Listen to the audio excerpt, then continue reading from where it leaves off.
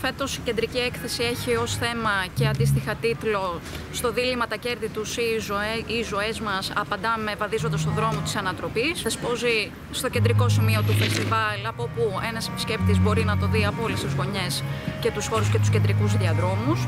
Το θέμα του είναι η καπιταλιστική ανάπτυξη και το πώς αυτή αποτυπώνεται στις ζωές των ανθρώπων και ιδιαίτερα στην περιοχή της Κεντρικής Μακεδονίας. Ένας επισκέπτης θα έχει την δυνατότητα να επισκεφτεί την έκθεση και τις τρεις μέρες του φεστιβάλ. Οι ξεναγήσει ξεκινάνε από τις 7 και τελειώνουν στις 12 η ώρα.